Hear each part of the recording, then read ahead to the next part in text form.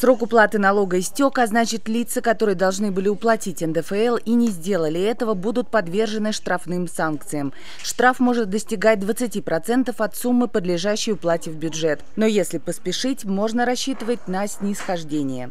Кто это еще не успел заплатить, пожалуйста, заплатите как можно быстрее. В этом случае можно рассчитывать на то, что штрафные санкции тоже будут снижены. Штраф будет, но он будет не такой большой. Постараться исправить ситуацию следует и тем, кто не подал декларацию, получив доход. Налоговый орган начислит НДФЛ на основании данных от регистрирующих органов. Это, в первую очередь, от Росреестра, если вы что-то продали, там, квартиру, участок, дачу.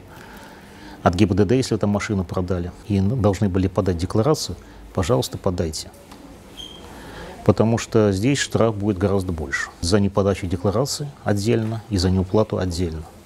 И в общей сложности это может достигать 50% от суммы, подлежащей плате бюджета. Если подать декларацию самостоятельно, можно рассчитывать на смягчение штрафных санкций. За первое полугодие года в Межрайонную федеральную налоговую службу номер 10 по Московской области поступило более 20 тысяч деклараций о доходах физических лиц. Сумма налога к уплате составила 284 миллиона рублей. Сформированы контрольные списки физических лиц, потенциальных декларантов, которые реализовывали транспортные средства, сдавали в аренду или наем жилые и нежилые помещения, получали выигрыши.